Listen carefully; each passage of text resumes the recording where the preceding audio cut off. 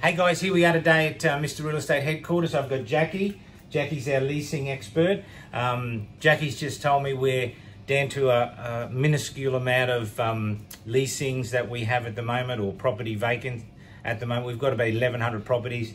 How many have we got left? We've got 10 left at the moment and they're going fast. Yeah, so 10 left out of 1,100, that's less than 1%.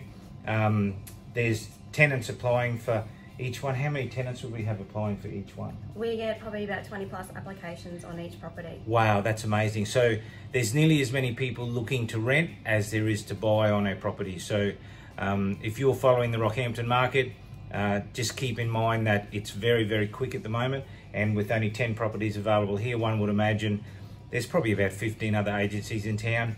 There may be 100 vacant property, properties in the whole of Rockhampton, and there's about 14,000 rentals, maybe 15,000 rentals in Rockhampton. So great job. Thanks for joining us today in the newsroom.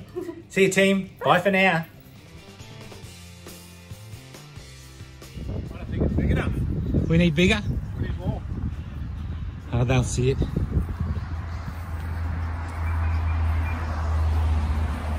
Jump in there. Watch on Facebook.